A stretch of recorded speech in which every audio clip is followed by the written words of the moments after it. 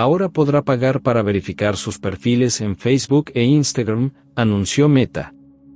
La iniciativa, que se asemeja a la implementada por Twitter, arrancará esta semana en Nueva Zelanda y Australia para luego extenderse a otros países. Meta, propietario de Facebook e Instagram, lanzará un servicio de suscripción paga desde $11,99 al mes que permitirá a los usuarios autenticar sus cuentas, anunció el domingo el director ejecutivo Mark Zuckerberg, cuando el gigante de las redes sociales atraviesa un difícil momento financiero.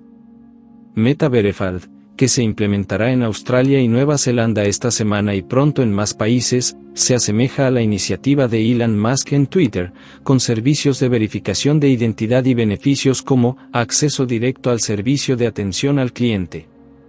Esta nueva función trata de aumentar la autenticidad y la seguridad en todos nuestros servicios, precisó Zuckerberg en un mensaje difundido en su canal de Instagram y en su cuenta de Facebook. En Facebook e Instagram, los usuarios tendrán una insignia mostrando que su identidad ha sido verificada, así como protecciones para su cuenta, incluso contra la suplantación de identidad, acceso al servicio de atención al cliente y más visibilidad, dijo un vocero de Meta.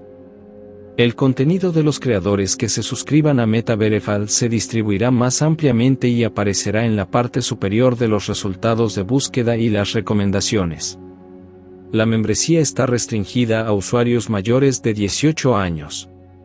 El servicio aún no está disponible para las empresas. Por lo tanto, los usuarios pagarán $11,99 dólares mensuales por Meta Verified en la web o $14,99 mensuales en los sistemas operativos iOS o Android. Facebook ya no es gratis. El eslogan de Facebook, una red social lanzada en 2004, ha sido desde hace mucho tiempo, es gratis y que siempre lo será.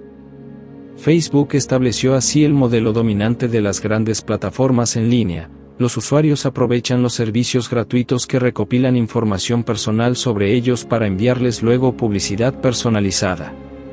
Pero en 2022, Meta vio disminuir sus ingresos publicitarios por primera vez desde que el Grupo de California empezara a cotizar en bolsa en 2012.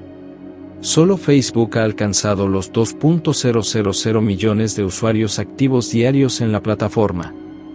Pero entre la inflación que afecta los presupuestos de los anunciantes y la feroz competencia de aplicaciones como TikTok, estos usuarios ya no aportan tanta información a Meta como antes. Estos factores ya han llevado a otras redes, desde Reddit a Snapchat, a lanzar planes pagos.